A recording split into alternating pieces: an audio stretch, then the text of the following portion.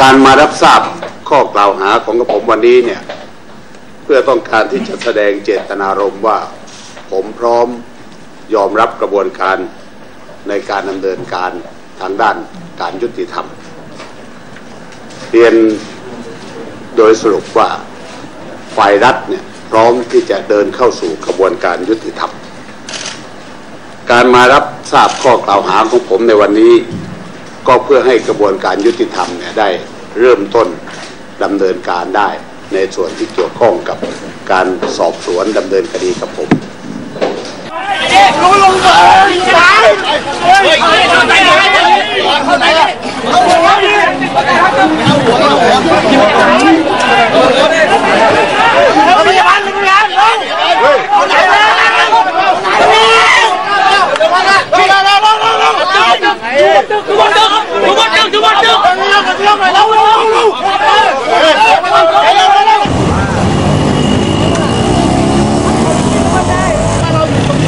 เขาไม่ทำอะไรพวกเรา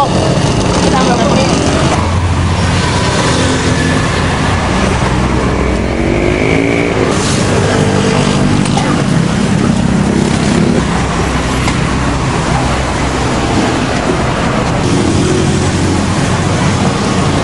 เด็ดขาดเป็น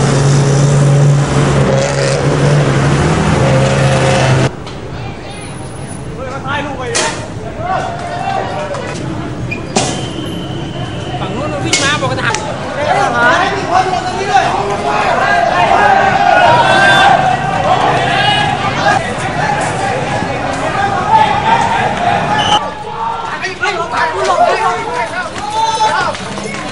เอาเฮ้ยมันเอาจริงนี่หว่า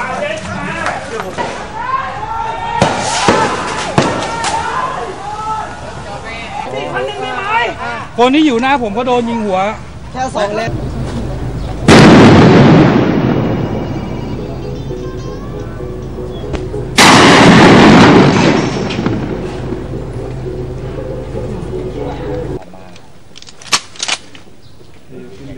De waakzaamheid bij de militairen blijft heel groot. Dat is zwaar. มีสา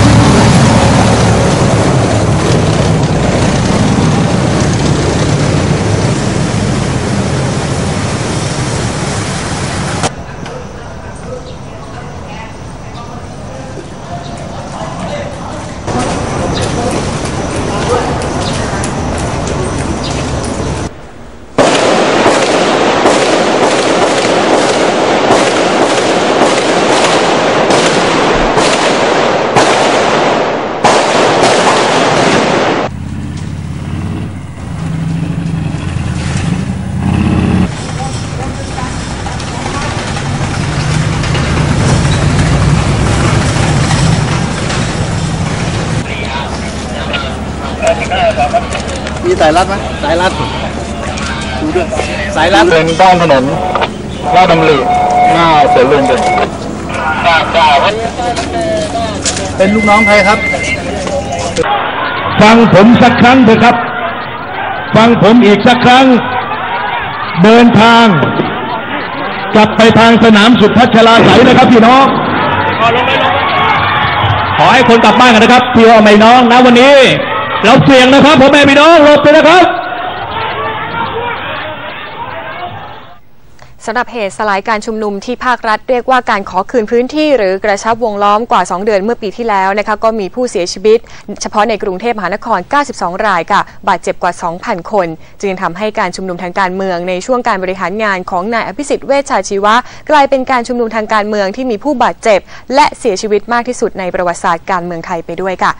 รวมไปถึงการเสียชีวิตของ 6 ศพวัดปทุมในวันที่ 19 พฤษภาคมเมื่อปีที่แล้วนะคะ ซึ่งมีข้อสันนิษฐานถึงผู้สังหารตัวจริงจากหลายฝ่าย บ้างก็ว่าเป็นทหารค่ะ ในขณะที่ฝ่ายทหารก็มีการอ้างถึงชายชุดดำแต่ในการอภิปรายไม่ไว้วางใจเมื่อต้นปีนี้นะคะก็มีการเปิดเผยบันทึกคำให้การของทหาร บนรางรถไฟฟ้าหน้าวัดปทุม ที่ยอมรับว่าได้ยิงเข้าไปในวัดปทุมจริงค่ะ รายละเอียดจะเป็นอย่างไรนะคะติดตามชมได้จากรายงานชิ้นนี้ค่ะ สันนิษฐานที่ว่าการเสียชีวิตของ 6 ศพวัดปทุม มีความเกี่ยวข้องกับทหารบนรางรถไฟฟ้า BTS เป็นประเด็นที่วนเวียนอยู่ในความสนใจของคนไทยตลอดหนึ่งปีที่ผ่านมา สังคมต่างตั้งคำถามว่า ชายบนรางรถไฟฟ้าเป็นทหารแท้หรือทหารเทียม พวกเขามาจากไหน และทำไมต้องยิงประชาชน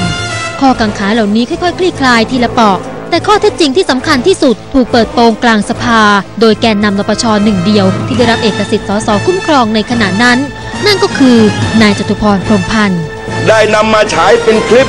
เห็นทหารอยู่บนรถรางไฟฟ้า ขณะยิงใส่วัดประทุม พยานเห็นมีชายแต่งชุดลายพรางคล้ายทหาร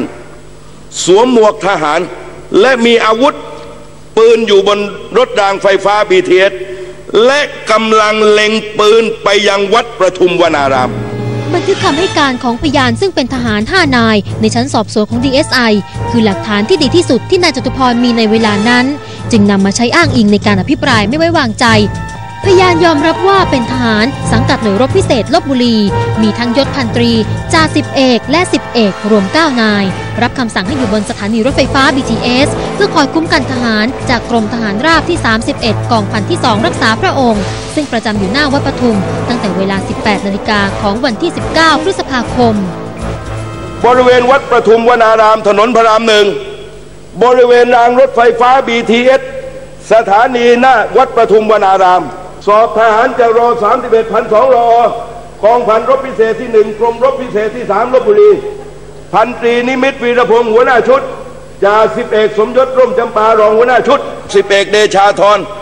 มาขุนทศสิบเอกพัทรนนท์มีแสงสิบเอกสุนทรจันงามสิบเอกชัยวิชิตสิทธิวงศาสิบเอกเกียงศักดิ์ศรีบุสิบเอกวิทูลอินธรรม ทหารที่ปฏิบัติหน้าที่บนรถไฟฟ้า โดยสรุปแล้วพยานเล่าว่าทหารแต่ละนายมีปืนลูกซองยาว 5 นัด และ M16A2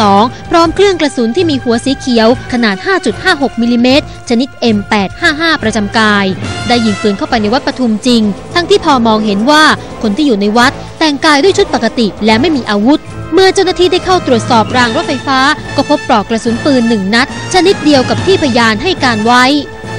หลักฐานสำคัญอย่างหนึ่ง คือเรื่องการใช้อาวุธปืน M16A2 ซึ่งมีลักษณะพิเศษคือหัวกระสุนสีเขียว ซึ่งตรงกับความตายของศพที่อยู่ในวัดประทุมพยานยืนยันว่านอกจากพวกเขาแล้ว ไม่มีกองกำลังฝ่ายใดอยู่บนรถไฟฟ้า BTS เลยคำถามต่อมาก็คือ อะไรคือแรงจูงใจที่ทำให้ทหาร ตัดสินใจลั่นไกเข้าไปในเขตที่รู้ดีว่ามีประชาชนหลบอยู่ มีอาสาพยาบาล และเป็นเขตอภัยทาน ในบันทึกคำให้การที่นายจตุพรกล่าวอ้าง ทหารให้การตรงกันว่า เป็นการยิงตอบโต้กับกองกำลังไม่ทราบฝ่าย หรือชายชุดดำแต่พวกเขาก็ไม่เคยเห็นตัวผู้ยิง แม้จะเป็นช่วงเวลาที่ยังมีแสงสว่าง ก่อนหน้านี้มีข้อมูลหลายอย่างที่ทำให้พอเชื่อได้ว่าชายชุดดำมีอยู่จริง ช่างภาพของสำนักข่าวอัจาซีราสามารถบันทึกภาพชายคนหนึ่งสวมไอ้โม่งสีดำและใส่เสื้อดำในมือถือปืนสั้น ซ่อนตัวอยู่ระหว่างการปะทะกัน ระหว่างทหารและนปช ที่อนุสรณ์สถานเมื่อวันที่ 28 เมษายนปีที่แล้วขณะที่เอเชียไทม์ออนไลน์ส่งนักข่าวไปฝังตัวในรังนักรบชุดดำ ที่แฝงตัวในกลุ่มผู้ชุมนุม 5 วันก่อนการสลายการชุมนุม แต่ไม่สามารถบันทึกภาพได้ เพราะจะถูกสั่งเก็บ ขณะที่ในประเทศไทยเจ้าหน้าที่ตำรวจสามารถจับกลุ่มตัวนายเมธีอมรวุฒิกุล แนวร่วมนปช ซึ่งได้ให้ข้อมูลเกี่ยวกับชายชุดดำที่ร่วมก่อเหตุ 10เบษาที่สี่แยกคอกวัว และจับตัวนายสุรชัยหรือหลังเทวรัตน์มือขวาเสแดง ก่อนที่เขาจะเดินทางไปประเทศจีนนายสุรชัยรับสารภาพว่าเป็นหนึ่งในกลุ่มคนที่ยิงอาวุธที่สี่แยกคอกวัว ส่วนภาพของไอ้โม่งปืนยาวที่ถูกบันทึกได้ ในคืนวันที่ 10 เมษายน จนถูกรัฐบาลหมายหัวให้เป็นชายชุดดำนั้น ความจริงแล้วกับกลายเป็นเพียงกาดนปช เมื่อถูกจับกลุ่มตัว เขาชี้แจงว่าชอบใส่ชุดดำเพราะดูเท่ดีตลอดหนึ่งปีทั้งรัฐบาลและฝ่ายทหาร พยายามหาหลักฐานมายืนยันว่าชายชุดดำมีอยู่จริง และเป็นมือที่ 3 ที่แทรกซึมจนทำให้สถานการณ์รุนแรงเช่นนี้ ไม่ใช่ทหาร ขณะที่ฝั่งผู้เสียหายก็ยังไม่ปักใจเชื่อ เพราะจนถึงขณะนี้ตำรวจก็ยังจับตัวชายชุดดำไม่ได้ แต่ข้อมูลที่จริงที่สุดในเวลานี้ ก็คือบันทึกคำให้การของนายทหารบนรางรถไฟฟ้า ที่ยืนยันว่า 19 พฤษภาคมไม่มีใครอยู่ที่นั่นนอกจากทหาร และพวกเขาได้ลั่นปืนเข้าไปในวัดปทุมจริง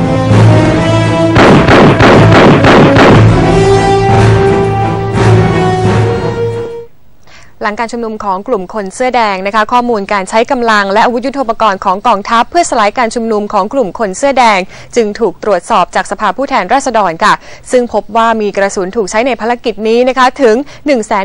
117,923 นัดค่ะ หลังสลายการชุมนุมของกลุ่มคนเสื้อแดงนานเกือบหนึ่งปี พันตำรวจโทสมชายเพศประเสริฐ สสนครราชสีมาพักเพื่อไทย ในฐานะประธานคณะกรรมาการการทหารสภาผู้แทนราษฎร มีการเผยแพร่รายงานบัญชี สรุปรายการเบิกจ่ายกระสุนจากหน่วยคลังแสงสรรพวุธทหารบก เพื่อสนับสนุนการดำเนินงานของศูนย์อำนวยการแก้ไขสถานการณ์ฉุกเฉินหรือสอชที่ดูแลความเรียบร้อยในช่วงที่มีการชุมนุมของกลุ่มคนเสื้อแดง ระหว่างวันที่ 11 มีนาคม 2553 จนสิ้นสุดการชุมนุมข้อมูลการข้อมูลจากประธานคณะกรรมาการทหารสภาผู้แทนราษฎรระบุว่า มีรายงานการเบิกจ่ายกระสุนทั้งสิ้นเกือบ 6 0แสนนัด มีการส่งคืนกว่า4 0แสนนัด มีการใช้กระสุนไปทั้งสิ้น 117,923 นัด โดยกระสุนที่เบิกจ่ายไป ใช้เป็นกระสุนปืนสไนเปอร์ไปแล้ว 2,000 นัด เป็นกระสุนซุ่มยิง 3,000 นัด และมีการส่งคืนเพียง 880 นัด ในขณะที่กระสุนซ้อมยิงเบิกจ่ายไป 10,000 นัด และมีการส่งคืน 3,380 นัดการใช้อาวุธเนี่ยนะครับเป็นเรื่องที่มีความสำคัญมาก การเคลื่อนกำลังพลเข้าหาพื้นที่ของพลเรือหรือประชาชนเนี่ยจะต้องระมัดระวังมาก โดยเฉพาะอย่างยิ่งการใช้อาวุธปืนนะครับ จริงๆแล้วเขาห้ามไม่ให้ยิงขู่ด้วยซ้ำไปนะครับ แต่ว่าที่ปรากฏแล้วเห็นกันอยู่เนี่ยนะครับ ก็เสียงปืนดังมากมายหลายครั้งหลายหนนะครับ แล้วก็เรียนว่า โดยปกติแล้วเนี่ยถึงแม้ว่าทหารจะถูกยิงในการป้องกันตัว มีสิทธิป้องกันตัวนะครับ ในการทุสลายจากผู้ชุมนุมหรือผู้ที่ก่อความไม่สงบเนี่ยแต่ทหารทุกคนนั้นจะต้องระมัดระวังถึงแม้ ว่าจะถูกทำร้ายหรือถูกยิงตายนะครับ ส่วนที่เหลือเนี่ยยังไม่สามารถที่จะยิงเข้าหาฝูงชนได้ทันทีนะครับ จะต้องดูว่ากลุ่มที่ยิงมานั้นจะเป็นใคร ถึงจะยิงโต้ตอบไปจุดนั้นนะครับ นี่นี่คือนี่คือคู่มือการปฏิบัติเพื่อที่จะไม่ให้ประชาชนนั้นได้รับความเดือดร้อนหรือเสียชีวิต ถ้าเปรียบเทียบการใช้จริง ๆ แล้วเนี่ยถ้าหากเป็นนายทหารแล้วจะตกใจว่าใช้กระสุนกันเป็นแสนหนึ่งหมื่นกว่านัดเนี่ยมันยิ่งกว่าบางประเทศที่มีชายแดนที่ติดกันแล้วลบกัน การเปิดข้อมูลกรมสัมพวุธทหารบกในครั้งนี้นะคะแถลงข่าวเมื่อวันที่ 18 มีนาคมที่ผ่านมาที่อาคารรัฐสภา แต่ยังไม่มีการชี้แจงเพิ่มเติมจากกองทัพผู้เบิกกระสุนไปใช้ในการปฏิบัติการนี้ค่ะ